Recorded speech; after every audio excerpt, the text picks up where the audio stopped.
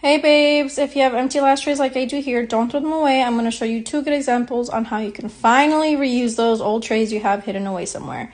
So the first thing I do is I just take off any stickers, I disinfect it, and my first option is making aftercare kits for my clients.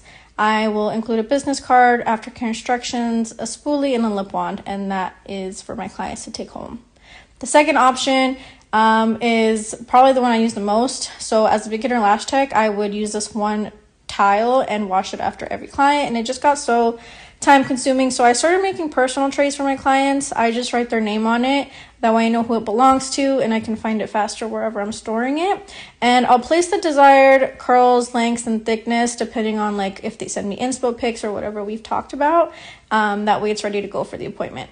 After the appointment, I place those strips back into the lash tray because they're only going to be used on my one client and then I'll transfer the mapping over to that little plastic piece that separates it that way the ink doesn't bleed and I'll place that into the tray um, it includes the style thickness and um, the curl and that completes it for their personal tray. I keep it in this little mini fridge. It's not on, it's just whatever I had for storage. You can store it however you want. But I really hope you guys like the video and you try it out. And I appreciate you guys for watching.